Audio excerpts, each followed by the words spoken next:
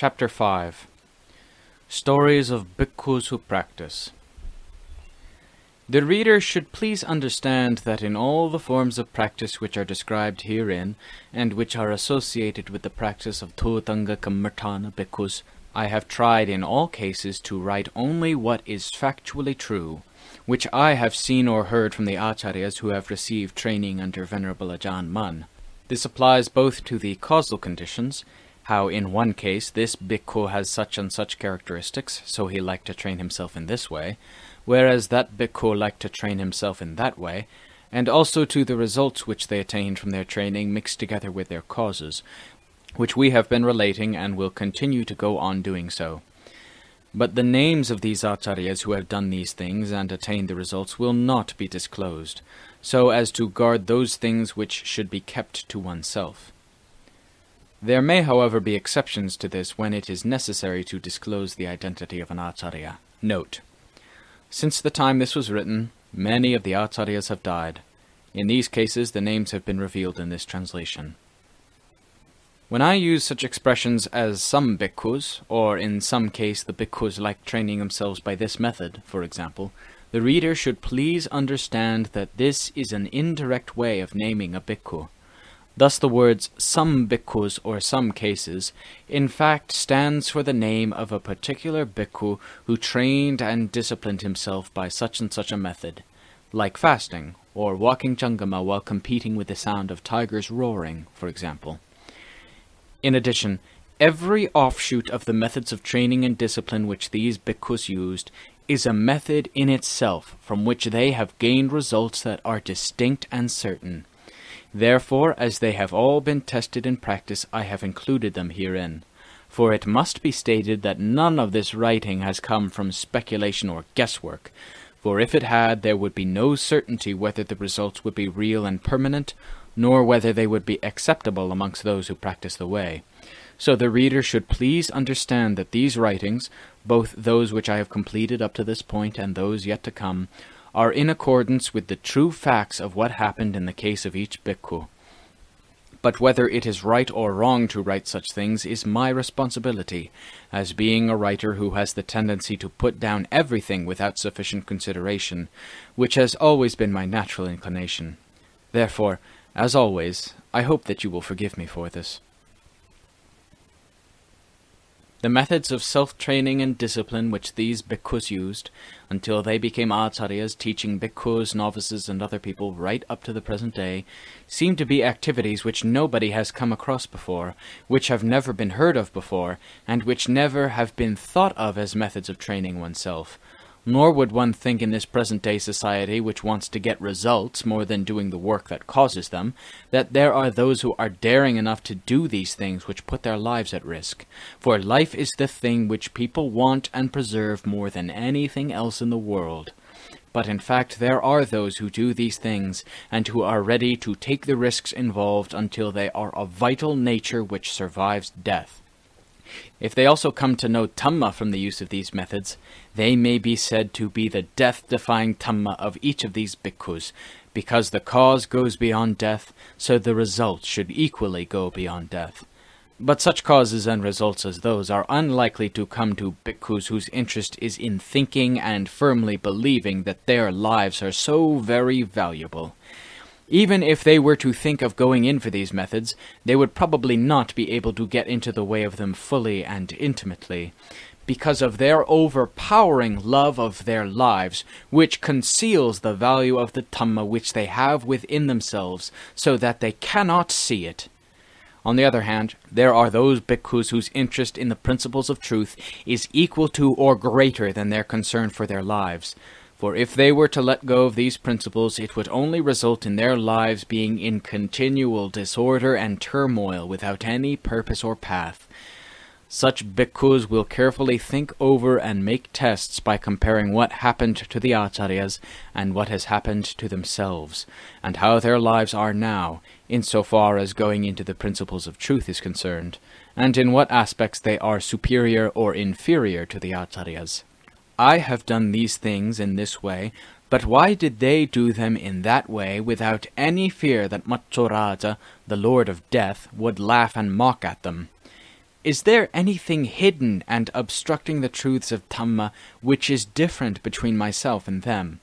How can they do these things and take the risks and know that they have experienced various things both superficial and deep, revealed and secret from those methods? Nor did they throw their lives away uselessly in using these methods of training and discipline. So the causes and the results which came from them are their own valuable possessions, the signs of which are still there for us to read about now in the present. They also had physical bodies which are things that they must have cherished much in the same way as I do, and they were individual people who probably had feelings of the same sort as people everywhere. But then, how were they brave enough to make such a sacrifice, and for what? Those things which they did I have not done yet, and those things which they knew I have never known. But why? We are all people in the same way, and we all desire those things which are so good and so valuable. So I should take up one of their methods which is well suited to my chitta and my ability, and go and practice it myself, to try it out and see what the results will be like. If one is interested in using reasoned thought to round up the mind and lead it toward the principles of truth, which accord with the Dhamma that the Lord taught, then regardless of sex or age, there is sure to be a way that one can accept and take up and use and gain value from them. Because truth does not depend in any particular way on sex or age, but upon reasoned thought and searching for the ground of truth, which is in every person. Those Dhutanga Kammatthana bhikkhus who practiced and developed themselves until they became very impressive people, to such an extent that we have seen fit to include their stories here for you to read about, all showed that they had a strong and firm intention and longing for the results which they were aiming for. Therefore they did not think, when they put all their strength and effort into attaining those results, that they would find it difficult or easy, whether they would live or die and gain or lose. They just had the single, unshakable resolve that they could succeed, without a thought of the difficulties and the possibility of whether they would live or die, because due to the effort that they were making, the results of their efforts which they hoped for began to come steadily, and they were results of such a nature as they had never experienced before, which made them forget all their fears entirely. Those things which seem so amazing to others who have never come across them are to be found in plenty of cases amongst the Dhutanga Kammatthana bhikkhus, such as those you can read about in the remainder of this book. A First Encounter with a Tiger Now we will turn to the story of one of the acharyas who at this time was walking Cankama, back and forth, in front of a cave in the hills at night, without any thought that anything unusual may happen, because while walking Cankama he had hung up a candle lantern, which gave enough light to see where he was walking quite clearly, and normally wild animals know that fire is an indication of the presence of human beings. But as soon as this Acharya had become absorbed in walking Cankama, he heard the sound of a tiger making a threatening roar at one side and slightly above the path where he was walking, about four yards away after which it continued to roar on and off. As soon as he heard it, the Acharya knew it was the sound of a tiger, and right then he was afraid in his chitta, and he stopped and looked in the direction from which the sound came. But he did not see the tiger, and so continued to walk Cankama. Almost immediately he heard it roar again, so he stopped walking and once more tried to see it, but he still could not get even a glimpse of it. Meanwhile, his feelings of fear continued to increase all the time, until he shivered and broke out into a cold sweat which drenched him, and this despite the fact that it was the cold season, and the weather was very cold just then. But he roused up his courage and resisted the temptation to flee away. Meanwhile, the tiger kept on growling. So he looked for a way to shake himself out of this state, to gain courage and take control of himself, and he thought like this. I have taken up the practice of Dhamma in the same way as they did it at the time of the Lord Buddha, when they acted with great courage and were willing to make all kinds of sacrifice, even including their own lives, without any longings or regrets. In those days it is said that there were many animals and tigers which could be dangerous to bhikkhus, but there do not seem to have been any cases in which those wild animals ever took bhikkhus to eat as food. Even if there were such cases, very few of them have ever been recorded, maybe only one or two cases. Yet those bhikkhus attained Dhamma, brought their kilesas to an end, and taught the way to the world until people gained confidence and faith in them, and looked on them as their refuge. This has continued right up to the present day, and it doesn't seem that the tigers ever took them to eat as food. As for myself, I am a monk in the Buddhist religion in the same way as they were at the time of the Lord Buddha, and I am practicing the way to attain the same Dhamma leading to the one goal, which is the path fruition and Nibbana. Magga Phala Nibbana. But why then, as soon as I hear the sound of a tiger coming to visit me and ask me how I am getting on, do I stand stiff and shiver like someone who is out of his mind and jealously attached to his body, life, and heart, as if I am not ready to die in the same way as people in the world even when their time has come? Why then am I stubbornly resisting this fact of nature which has ever been the way of the world, even to the point where I am standing here shivering, jealously attached to life, wanting only not to die? And why am I standing here stiff and opposing the Dhamma of the Lord Buddha in this way? Am I not ashamed in the face of this tiger which is roaring at me with laughter right now? If I am not ashamed before the tiger, why do I not think of turning inward so as to be ashamed before myself, a Dhutanga Kammatthana bhikkhu who is standing here shivering? This should be enough to make me mindful and wake me up and remind me that I am a bhikkhu with a vocation and one who has willingly given up everything. But here I am standing and shivering because I have more concern for my life than for Dhamma, which is more gross than the ways of animals. And that tiger is also an animal, whereas I am a man and a full Kammatthana bhikkhu then why should I be so afraid of this tiger? There is no sense in it. And supposing now, while I am so afraid of this tiger and standing here shivering like a puppy in cold water, that my teacher, my Acharya, should send his chitta to see what is happening here, he would laugh at me, just like the tiger is laughing now, and where should I hide my face? This that I am doing is quite disgraceful, and it is bringing disgrace upon Buddhism, on my teacher, my Acharya, as well as all those who practice who are all Dhutanga Kammatthana bhikkhus, in a way that is really obnoxious. Just now it is as if I am being a clown, for the tiger and all the Devatas who live in the vicinity of this hill to laugh at, so that I have no face left. What should I do in order to redeem Buddhism and those that are Buddhists, so that they will not be denigrated like rotten fish being sold in the market? For at this moment I am in the role of the merchant advertising them for sale. While he was calming down and scolding himself, he was in a state of confusion and anxiety, and the tiger kept on showing its derision by roaring with laughter while resting from time to time, as if it was warning him that he must become mindful and control himself with those methods of Dhamma which he was thinking and searching for in confusion. And he must also act in a decisive and true way, right at that time. It seems that he was still resisting the tendency to run away, and gradually his mindfulness returned to him, and with it a method or way came to him.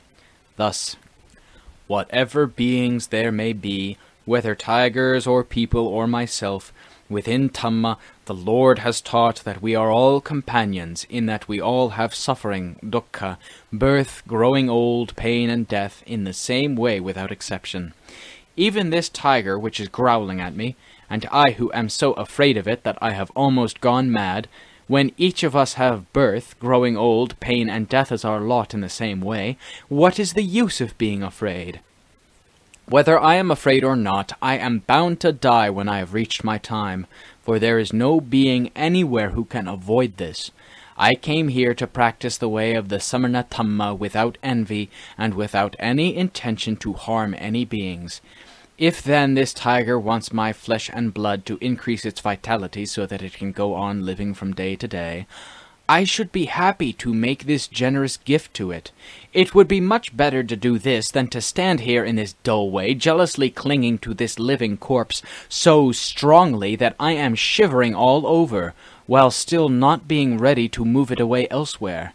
Those who have been ordained are those who make sacrifices, and not those who cling on jealously with so much concern for their lives that it is shameful and a disgrace to themselves and to the religion.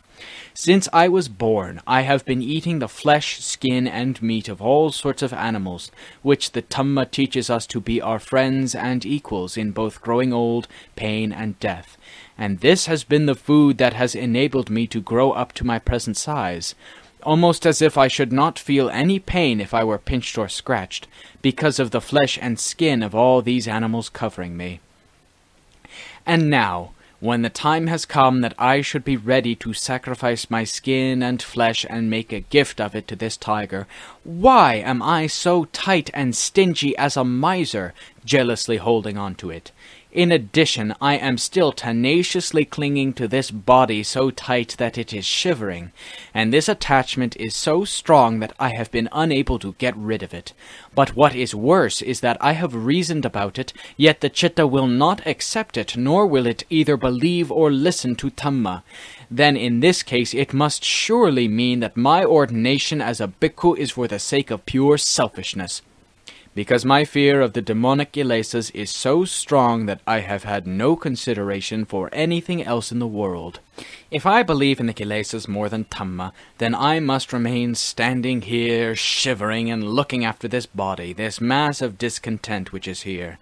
But if I believe in the Dhamma of the Lord Buddha, I must sacrifice this blood and flesh to the tiger for it to take as food so as to maintain its life.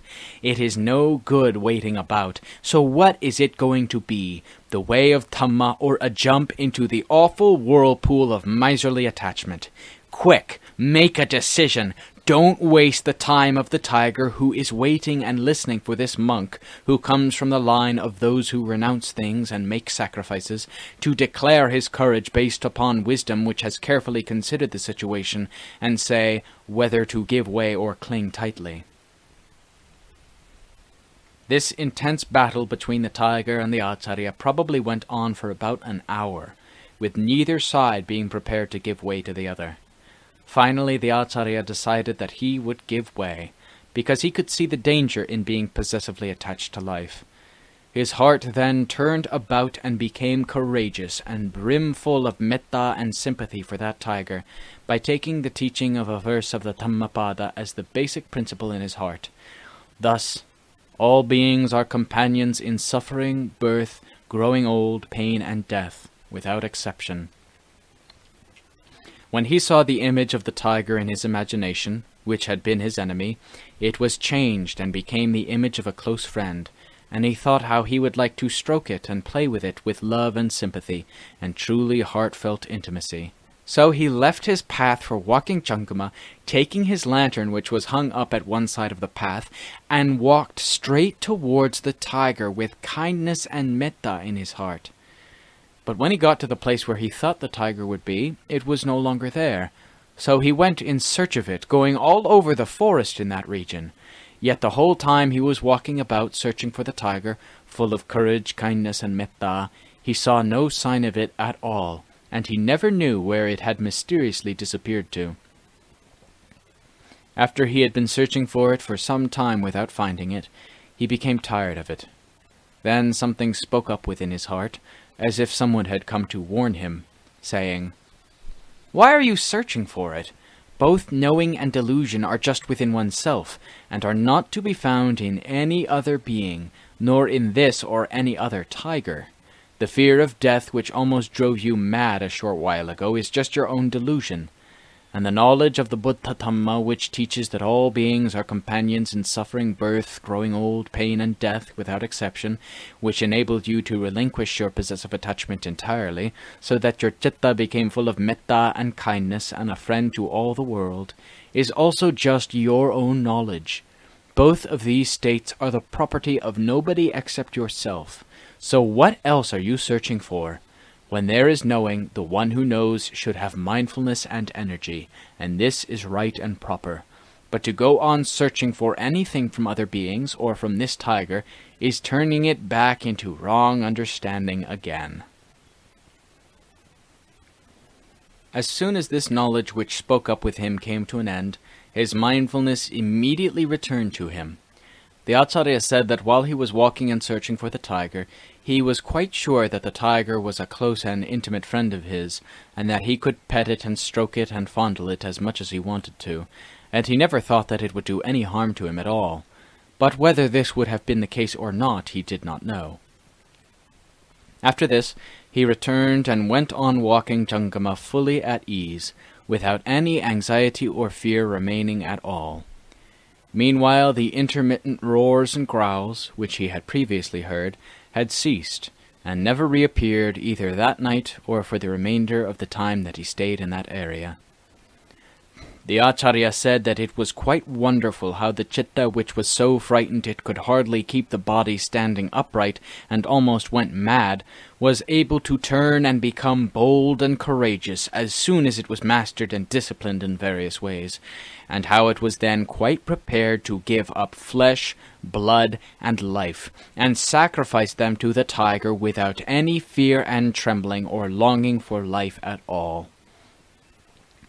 He said that since then, whenever he walked Cankama or sat in meditation practice, if the chitta would not calm down easily, he would think of the tiger, wishing that it would search him out and often let him hear its roars.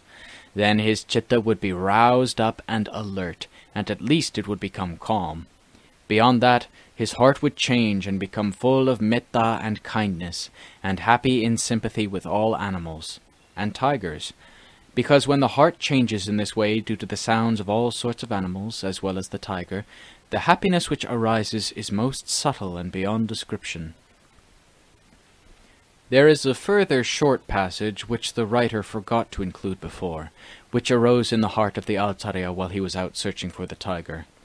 He said that it came to him as follows Metta, which is experienced as kindness and gentleness, is a close and harmonious intimacy with all beings, both those who would be enemies and all others, including all people, the Devatas, Indra, Brahma, Yama, the Yakshas and demons, and all throughout the three realms, Tilokadhatu, and at such a time there are none that can be seen as enemies.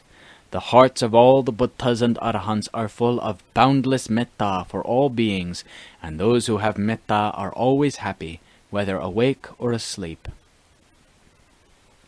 What was said then seemed to be a teaching directed to myself alone, arising softly in the citta, to be heard and known just by myself alone. I can remember much of it quite clearly, but I cannot recall everything that was said, which I regret now. Living in the forest and hills, which are lonely, desolate places, is likely to be unusually beneficial, and particularly so for those whose aim and intention is for Dhamma.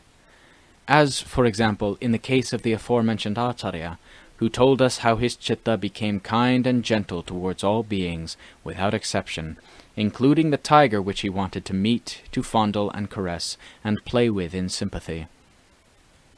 I believe the truth of this story without reservation, because I once had a similar experience. At one time I also became very frightened so that I could hardly control myself. So I tried using a method to train and restrain myself, much in the same way as the foregoing acharya, until the chitta was cured of its stubborn resistance and became courageous and gentle with metta, and was able to go and search for its enemies of all types without any apprehension at all. So as soon as I heard the story of this Acharya, I immediately felt deeply impressed by his story, which showed that there are still those who practice the way of the forests and the wilds in the same way as I had done.